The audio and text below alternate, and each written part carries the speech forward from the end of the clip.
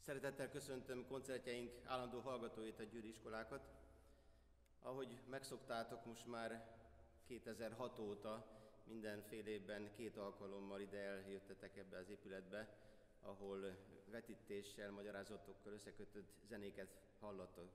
Hát az év ez sok szempontból különleges, itt sajnos felvételeket kellett készítenünk, amiben különfajta helyszíneken össze tudtuk vágni a zenéket, és ez a Magyarázó Szövet is beilleszkedik majd a elhangzó zenék közül. Ebben a fél évben négy európai várost fogunk meglátogatni, megismerünk a városoknak a történetével, a városoknak a kultúrájával, a híres építészeti emlékekkel, és természetesen a város híres zenészeivel, a város zenei életeivel. Ez a négy város Velence, ez lesz ma, Párizs, Bécs és Budapest. Velencen kívül mind a három nagy említett város egy-egy ország fővárosa, ahova koncentrálódik az ország ipara és kulturális élete. Velence ilyen szempontból is egy rendkívüli, ugyanis ez sose volt a nagyon sokáig nem létező, aztán az 1800-as évek második felétől kialakult Olaszország, vagy nemzetközi nyelven Itáliának a fővárosa. Egy varázslatos város, egy pár szóval szeretném a történetét bemutatni. Egy furcsa város, ahol a, az Alpokról lenyúló sikság szép lassan beletorkolik a tengerbe, és ezt a lapos részt még a jégkorszak olvadásokra lezúduló, szépen lecsúszó gletszerek simogatták ilyen, ilyen laposra, és egy ilyen ö, mocsaras vidék terül el ez a város, amit olasz nyelven lagúnának hívnak. Ha esetleg nézitek, vagy egy film felvételeket a, a műholdakra, egy nagyon fantasztikus, érdekes világ rajzódik le, apró szigetek a tengerbe beágyazódva. És ezekre az apró szigetekre a népvándorlás időszak alatt az őslakosok a kb. 6. században a lovas normanok elől bemenekültek, és amikor elmúlt a veszély, akkor ott maradtak, és új életet kezdtek, haláztak, és só lepárlással próbáltak némi életfeltételekhez jutni, és a következő évszázadokban ez az élet megszilárdult és megerősödött azzal, hogy hajókat építettek és elkezdtek kereskedni. Nagyon sikeres kereskedelmi tevékenységük során gyakorlatilag az egész földközi tengert behálózta a velencei hajóknak a kereskedelmi láncolata, és szép apránként ez a város meggazdagodott. A kereskedelem mellett azért nagyon fontos volt, hogy sikeres háborúkat is vívjanak, jó szövetségeseket találjanak, és ennek folyamán erős gazdag kereskedő család alakult ki, családrendszer alakult ki, és a 800-as évek végére pedig egy erős város-állam szövetség alakult ki, aminek a vezetője a Dózse lett. És ez gyakorlatilag ez a rendszer 1100 éven keresztül folyamatosan működött, egészen szinte a napoloni háborúkig, az 1700-as évek végéig. A városnak a legnagyobb részén, amit ma manapság Velencének hívunk, körülbelül a fénykorban, ez az 1400-as évek közepére tekinthető, körülbelül 200 ezer ember élt, ugyanannyi, mint manapság is. Akkor elsősorban faházakat építettek, erős, nem kismértékben az ingoványos talajra, ugye most talajra nem lehet magas házakat felhúzni, de hát ezeknek a faházaknak az volt a sorsa, hogy ezek időről időre elégtek, és leégett többször a város. Míg nem aztán kitaláltak egy építkezési technikát, hogy a Dalmát tengerpartokról és Ciprusról is hoztak vörös fenyőket, és ezekből egy 8-10 méter hosszú cölöpeket vertek le, és ezekre a cölöpökre kezdték a, a most már kőből épült házakat, és egyre nagyobb és díszítettebb házakat, palotákat fölépíteni, és ezeket a házakat, a nagy részét lehet megtalálni manapság is, a Velence ékszerének és gyöngyszemének tekinthető paloták a 16.-17. században épültek. Nem túl magasak, ugyanis ezeket szölpök azért olyan nagy terhet nem bírnak el. 3-4-5 emeletesek lesznek legritkább esetben, de alapvetően elég lapos épületekből áll maga a város. A 800-as évek végén Szent Márk evangelistának a, földi maradványait megtalálták és a városba hozták, és onnantól kezdve Szent Márk lett a, a városnak a védőszentje. Nem véletlen ezért hívják a gyönyörű 9. században elkezdett bizánci stílusú templomot itt, itt San Markónak, tehát Szent Márk katedrálisnak. A városnak több jellegzetessége van, a templomon kívül a templomi téren, a Márk, Szent Márk téren található hatalmas tűztorony, ami megint csak érdekes, hogy több mint ezer évig állt ezen a helyen, míg aztán az 1900-as évek elején egy földrengés ledöntötte. Most tessék elképzelni, milyen masszív anyagokból építették, hogy ezer éven keresztül egy majdnem 90 méter magas torony ö, állhatott. A manap, manapság látható torony ez már téglából épült és 96 méter magas. Manapság elsőbb a turista látványosság, de annak idején tűztoronynak hívták, és az volt a funkciója, hogy mindig volt egy őrszem, főleg a sötétedés után, akit kémlelte a város, hogy hol talál esetleg tűzfészket a városban, meghúzták a harangokat, megkondították és megpróbálták előteni a tüzet, hát ez nem mindig sikerült. A zenei barangolásunkat kezdjük a magába a katedrálisba, San Marcóba.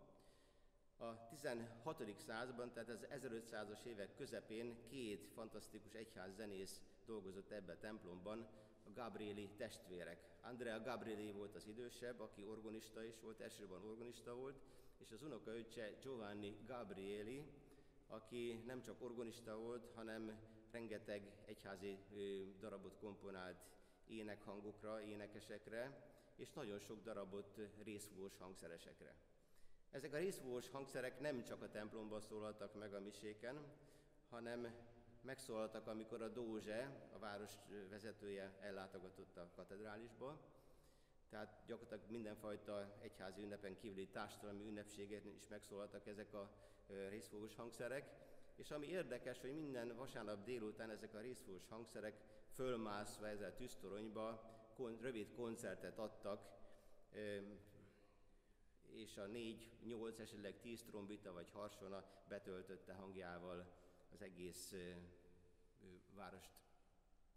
Gabrielének egy szonátáját fogjátok most hallani elsőként. A, annak idején kétfajta zene volt, az énekelt zene, aminek az volt a neve, hogy kantáta, kantáre énekelni, a másik pedig szonáre, ami azt jelenti, hogy hangszeren valamit előadni, és egy hangszeres darabot a legegyszerűbben módon szonátának hívták. Tehát most hallgassátok meg Giovanni Gabrieli szonátáját. városban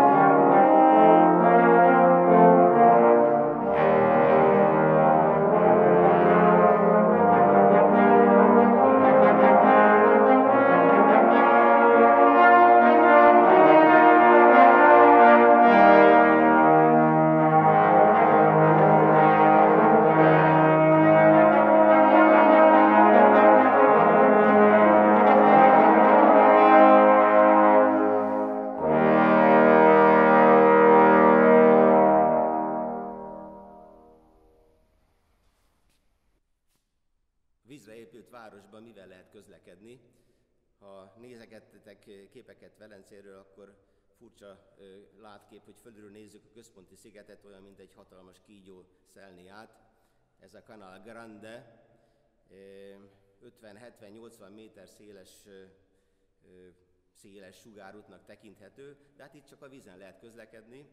A turistáknak rendelkezésre állnak a jó pénzért megváltható gondolák, csikos matróz ruhába, sokszor még énekelnek is hozzá jó pénzért ezek a helybeli emberek. A turisták és a helybeliek viszont a, a vízi buszon, a vaporetton tudnak egyik szigetről a másikra menni. És hát a képeken látszik majd, hogy sokszor bizony a tenger bejön a városba, és a, nemrég, most ősszel is lehetett látni nagyon szomorú képeket a városról, hogy a, a várost elönti teljesen a víz, például a San Marco tér is vízben áll, bezártak az éttermek, csak gumicsizmával lehetett bemenni, amik még vicces volt a dolog, utána már, már az sem. Velencéhez sok zenemű és sok zeneszerző kötődik, de relatíve csak kevesen születtek a híres zenészek közül, között Velencében. Közülük a leghíresebb kétségtelenül Antonio Vivaldi, aki a város szülötte, édesapjától tanult, aki egy organista volt egyik templomban zenét, aztán utána hegedűs lett, és 20 éves korában pappá szentelik, de igazában rendes papi szolgálatot sosem végzett, mert nagyon gyenge fizikuma miatt úgy gondolták, hogy egy misét sem tud végigállni. Az első munkahelye, és sokáig egyetlen munkahelye, egy árvaház volt. Ez furcsának tűnik, hogy miért pont egy árvaház. A bevezetőben említettem, hogy Velence területét sikeres háborúkkal növelte. A háborúnak azért rengeteg katona esett áldozatul, és hát a kérdés volt, hogy az elesett katonáknak a családjával mi lesz. Annak idején a nők nem dolgoztak, tehát egy családba elvesztette a, a férjet, az álláskeresőt, illetve az áll, a kenyérkeresőt, akkor a család gyakorlatilag földönfutóvá vált, és ilyenkor a gyerekeket általában beadták egy árvaházba. Mivel Velencében nagyon sok férfi meghalt, ezért négy árvaházat is üzemeltettek, kettőt a fiatal fiúk számára, ők valami fajta ö, szakmát tanultak, vagy kereskedő szakmát, vagy valami fajta céhes szakmát tanultak, és két árvaházban nők voltak. Az egyikben felkészítették őket a női munkákra, mosásra, főzésre. A másikba viszont, ahol Vivaldi állást talált, el Della Hospitale-be, ez pedig csak zenészek voltak, a, a te, zeneileg tehetséges lányokat gyűjtötték össze ebbe az intézménybe, és Vivaldinak az volt a dolga, hogy ezekből a zeneileg tehetséges és főleg vonós hangszereken játszó lányokból egy zenekart kovácsoljon össze, és ezeknek a lányoknak a számára pedig hétről hétre újabb és újabb darabot írt. Ugyanis ezeket a darabokat a lányok megtanulták, és a hétvégén, szinte minden hétvégén nyilvános koncerten eljátszották, és a város tehetős polgárai eljöttek ezekre a koncertekre, és hát a produkciót jó pénzél jutalmazták, és ezekből a bevételekből finanszírozta ez az árvaház magát. Vivaldinak elég kalandos élete volt, nagyon sok pénzt keresett, és de sok emberre megtörtént, hogy szinte élete végén nem maradt egy gara sem, mert bőkezően szórta szét a pénzt. Azt szokták mondani, hogy Vivaldi 500 koncertot, kb. 500 koncertot írt, egy, és ezek a koncertok, nagyon koncertok nagyon hasonlítanak egymáshoz.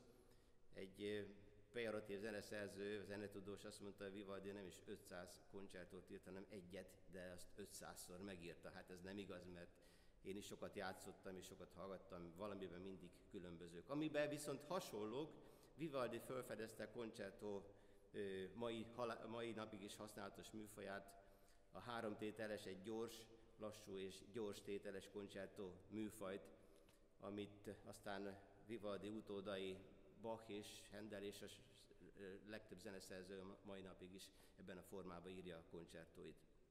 Kevésbé köztudott, hogy Vivaldi 50 operát is komponált, hát ezekből manapság már egyet sem játszanak, a legtöbb elveszett, vagy hát nem volt annyira sikeres. Egy képet találtam azokról a, operaházról, amit aztán nagyon régen már lebontottak. Ez a San Angelo színház, és ebben a színházban játszották annak idején Vivaldinak a szoperáit. Most egy koncertó tételt fogtok hallgatni.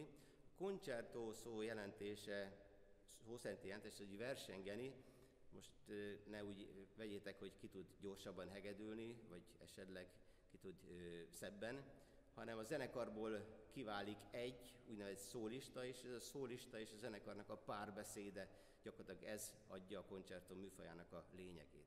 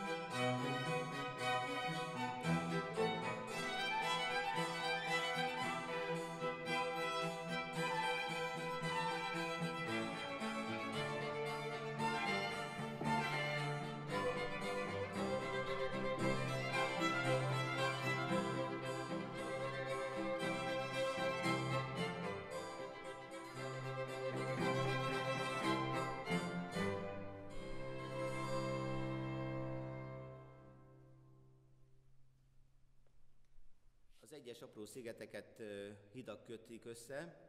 Két nagyon híres híd van. Az egyik egy egész picike híd, amit sóhajók hídjának hívnak, és számos költőt, írót megihletett. Victor Hugo egyik regényében szerepel, vagy Byron egy angol költőnek híres versében szerepel a Sóhajok hídja.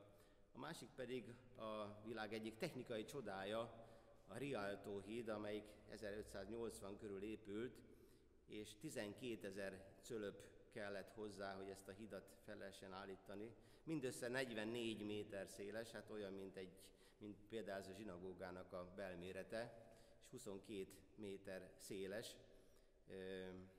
Még egyszer mondom, 12 ezer cölöp kellett ahhoz, hogy ez a híd stabilan álljon. Ahogy említettem, Velence sokáig a kereskedelmnek központja volt, és aztán ahogy a kereskedelem háttérbe szorult, egyre inkább a város szépsége és az ide látogató emberek ö, száma tartotta fenn a várost, és a városnak a kultúrája az, amelyik hozta, ide vonzotta az embereket. Több színház is működött ebbe a városban. Az fénykorában, a város fénykorában kb. 200 ezer ember élt, hát egy ilyen hatalmas városba több színház is kellett, és ebben a színházakban nem csak színház, színdarabokat játszottak, hanem operákat is. Egy pár színháznak a rajza, vagy a mai napig is egy-két átalakított épülete megtalálható. Például Vivaldinak a operáinak a bemutatója, amit aztán lebontottak, San Angelo színház, vagy a Szent Mózes színház, amelyik a mai napig is még átalakítva áll. Ebben az operáházban mutatták be Rossininek a korai operáit.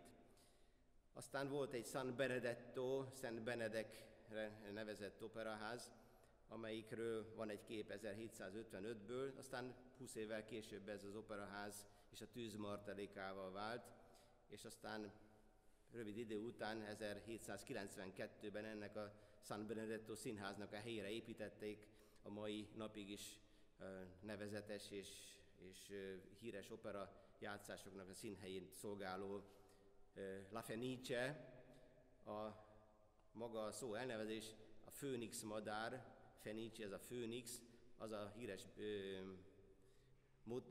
mitológiai madár, amelyik mindig tűzhalált ö, szenved, és akkor mindig újjá és újjá éled. Hát ez az épület is többször leégett, de a mai napig aztán mégis, mégiscsak működik. Velence vonzotta a zeneszerzőket, azokat is, akik nem Velencébe születtek, hogy például ott mutassa be operáit is. A, az úgynevezett belcanto, a szép éneklés opera műfajának a kitalálója Vincenzo Bellini Nápolyban született. Nagyon rövid életet élt, mindössze 34 évet, de ebben a 34 évben 9 fantasztikus opera is belefér.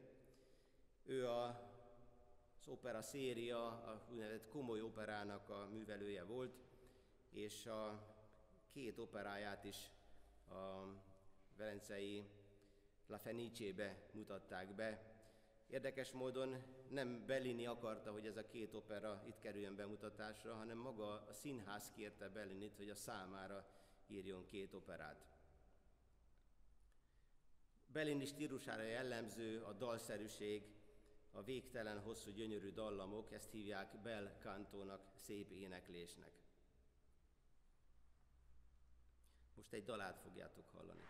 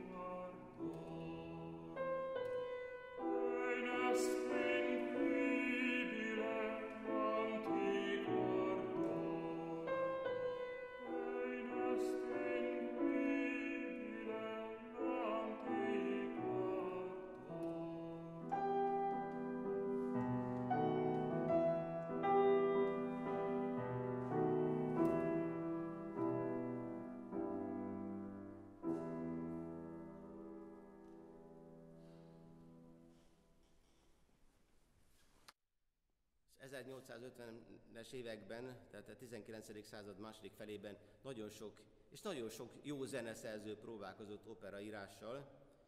Nagyon sok darabot is írtak, ezek közül viszont csak kevés volt az a zeneszerző, akinek szinte minden darabja sikeres lett.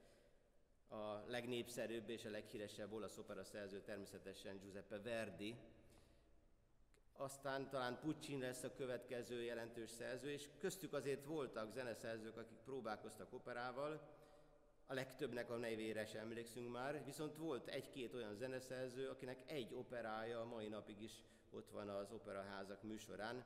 Ezek közé tartozik Leon Cavallo, akinek az első megírt operája 1892-ben itt Bajadzók című operája, mai napig is rendesen a játszott darabok közé tartozik.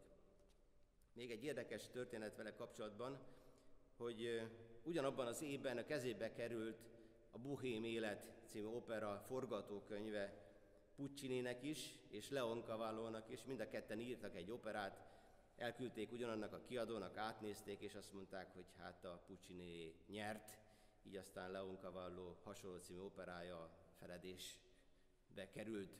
Most viszont egy nagyon népszerű dalát halljátok, amit nagyon sokra lehet hallani a világ vezető tenor énekeseinek a gála koncertjén.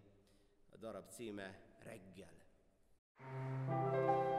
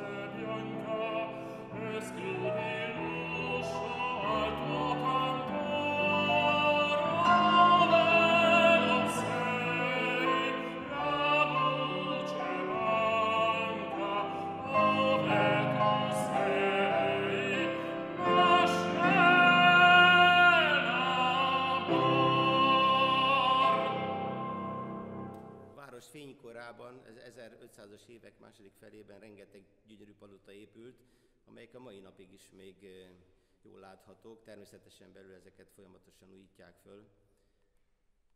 A város gazdasági jelentősége az 1500-as évek végétől folyamatosan csökkent.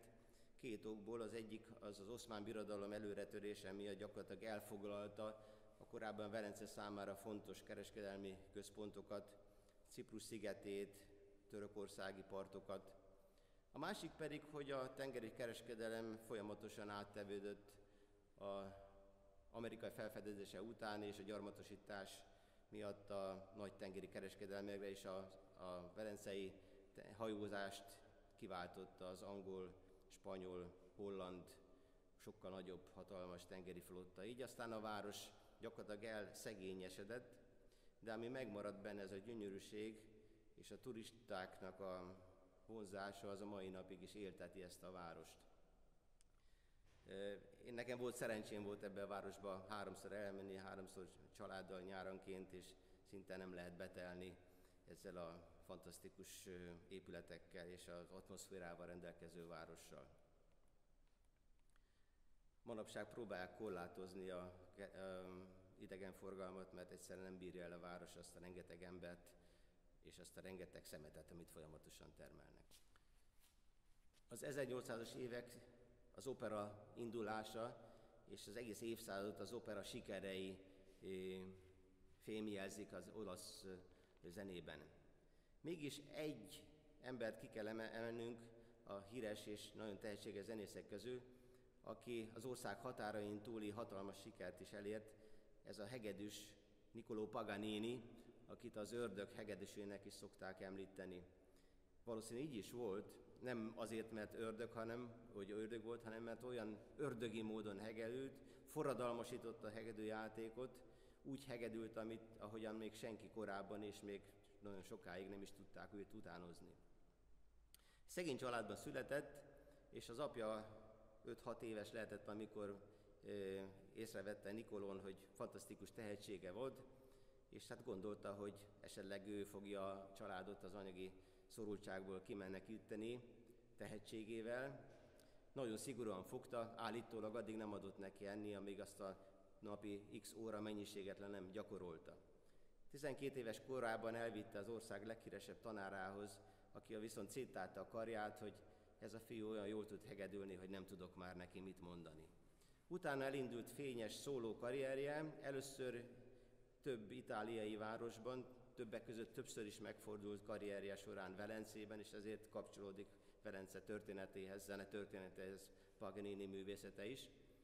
De a legnagyobb sikereit Európában, Német, a Németországban, Franciaországban és Angliában aratta. Egy furcsa betegséggel született, nagyon vékony, hosszú végtagjai voltak, és nagyon ruganyosak voltak az izületei, és olyan, mintha a hegedűre született volna minden végtagja, minden eleme. Az 1830-as években nagy sikerű párizsi koncertjén ott volt például Frederick Chopin, a nagy lengyel zeneszerző, és Liszt Ferenc a legnagyobb magyar zeneszerzőnek és a világ legnagyobb zongoristának tartott ö, magyar hazánk fiai, akit mind a kettőt lenyűgözte ö, Paganininek a hangszeres virtuozitása, és ez egy fordulópontot jelentett a zongora zene, zongora műfaj történetében is, mert elkezdték utánozni Paganini stílusán mindenki a maga hangszerén, így Liszt Ferenc is a zongorán. Paganini zenéje nem elsősorban a zeneiségről szól, hanem a, a szinte emberfeletti technikai virtuozitásról. 24 kapricsóját a mai napig is a hegedű irodalom legnehezebb darabjának tartják. Most hallgassatok meg tőle egy, gyakorlatilag egy, nem egy virtuóz, hanem egy szép olasz kantábilis darabot. thank you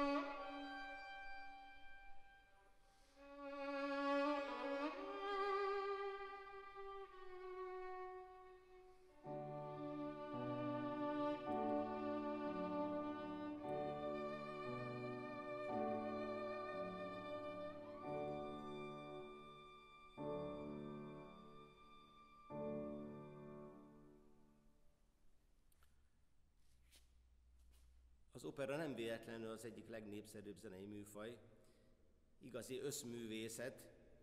Ott van az énekhang, a szólisták, a kórus, zenekar, díszlet, valami fajta szöveg, valami fajta ö, történet is van benne, egy társadalmi esemény, amire az emberek szépen fölöltöznek, elmennek, jól érzik magukat, és ha még szép dalomokat hallanak, akkor a következő nap azt az utcán lehet fütyülni. Ennek a könnyed operának a legnépszerűbb képviselője volt Giacchino Rossini, aki Észak-Olaszországban született, Genova környékén, de első operáit Velencében mutatták be. A Velencei Operaház, korábban említett Mózes Színház alkalmazta őt, és adott lehetőséget az első operájának a bemutatására, több-kevesebb sikerrel, nem igazában ezek voltak a leggyakrabban játszott operái, de minden esetre itt már ezekben a korai operákban meg tudta mutatni oroszlán körmeit. Az élete nagyon érdekes, 38 éves, amikor a csúcsára jut szakmájának, és már 38 operát komponál, amikor aztán fogja magát, és egyszer és mindenkorra gyakorlatilag véget ver a zeneszerzésnek, egy-két egyházi kompozíciót még a következő évszázadok vagy évtizedekben ír, de operát már soha többet, viszont ami érdekli, szakácskodás. Szakácskönyvet ír, és egyébként a korábbi operáiban is néha szerepel a recept, több operájában főznek, ugye az olaszok szeretnek enni, Rossini is nagyon szeretett. Most egy népszerű dalát halljátok, egy nápoi vidám táncot, Tarantellának hívják ezt a táncot, és a dal címe a, tánc.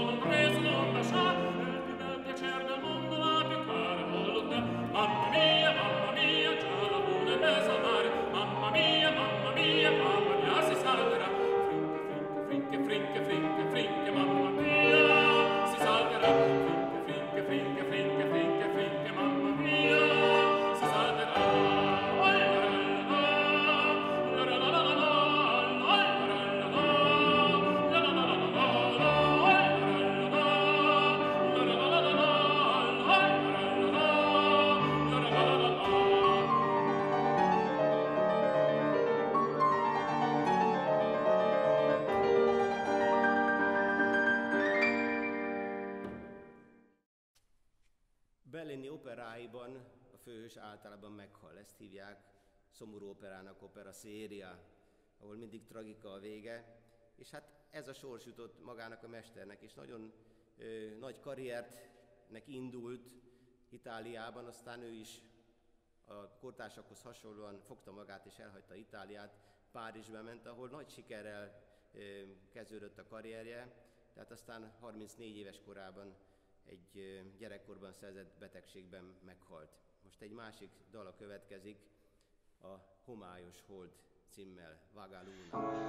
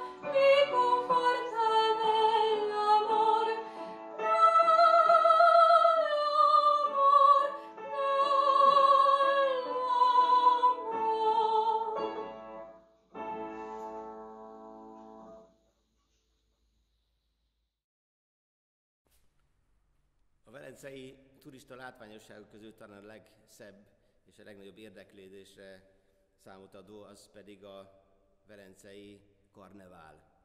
Egy pár mondatot arról, hogy tulajdonképpen mi is ez a karnevál, talán kevesen tudjátok. A karácsonyi ünnepkör véget ér vízkeresztel, ez január 6-a. És a következő nagy 6 hetes bőjt, a nagy bőjt közötti időszakot hívják farsangnak. Ez az idén február 17-i szerdával kezdődő, hamvazó szerdával kezdődik. Tehát egy körülbelül 40 nap áll rendelkezésre, hogy a karácsony és az utána következő bőjtös idő előtt szórakozzunk, jól érezzük magunkat, húst tegyünk például. És a farsangnak a végét az úgynevezett húshagyó kedd előtt, tehát a hamvazó szerda előtti nap és az előtte lévő két napot, ezzel a három napot hívják farsang forkának, vagy karneválnak. A szó karnevále, ez egy latin szó, carne azt jelenti, hogy hús, levále pedig, hogy elhagyni, tehát a karnevál szó szerint azt jelenti, hogy elhagyjuk a húst. Ez lesz majd a hamvazó szerda, amikor elhagyjuk, de ez a három nap még, amikor kitombolhatjuk magunkat, jól érezhetjük magunkat, és hát ez a Velencei karnevál, amikor az emberek jókedvűek, különfajta állarcot vesznek magukhoz, bálokba járnak, zenét hallgatnak. A világon gyakorlatilag három nagy karnevál tartanak számon. Ez a legősibb és a legnagyobb hagyományokkal rendelkező a Velencei karnevál, de van még két jelentős világ szenzációsra érdemes karnevál. Az egyik Rióba, egy képet láttok erről is, egy táncos, nagyon vidám felvonulás. A másik pedig, ami kevésbé kulturáltnak mondják, ez az Egyesült Államnak a déli államában, New Orleansbe van, ez a New Orleansi karnevál, hát itt egy kicsit másfajta eszközöket használnak, traktorok, és nagyon viccesnek tűnő jelmezeket vonulnak fel. Magyarországon is van egy ilyen karnevál, ez a bizonyos busójárás, mert ez tulajdonképpen ugyanebben az időszakban történt, de a busójárásnak a történetet most nem szeretném elmondani, mert sok zene van még hátra. A Verencei Karnevál számos zeneszerzőt ihletett meg, zárásként hallgassátok meg Nicolò Paganini darabját, amit a Verencei Karnevál ihletett.